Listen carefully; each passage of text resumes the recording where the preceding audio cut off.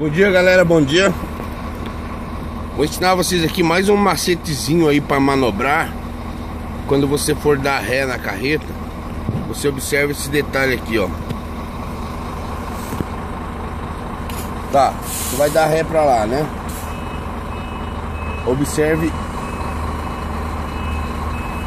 O cavalinho lá, ó a que hora que eu tenho que voltar? Desfazer o cavalo? Desfaz, desfaz, desfaz. Você observa o pé da carreta lá, tá vendo lá? Para você não fechar demais o L. Quando você começa a ver o pé da carreta lá, ó, tá vendo lá? Você viu um, né? Viu dois, ó lá, tá no meio do pé das duas carretas, ó. Você já fez a metade do que tinha que ser feito. Observa lá, ó, ó lá, ó.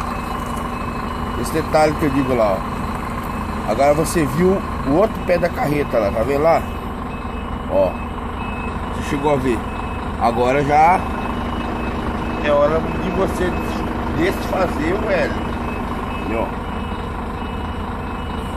Passar um pouquinho não tem problema não. Coisa de 50 centímetros. Olha lá, ó. Agora já desfaço ele. Começa a desfazer. Senão você vai entortar demais.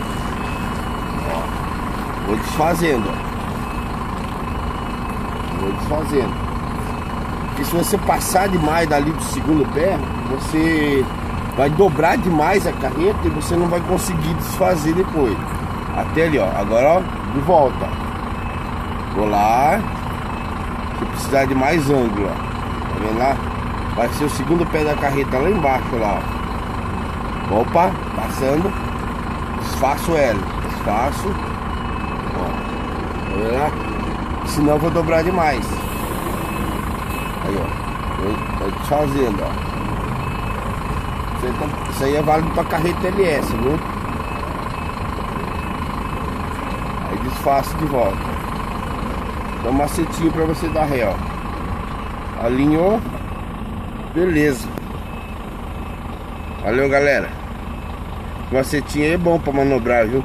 Você não dobra demais a carreta, não, com, não fica se perdendo com a traseira da carreta e dobrando demais.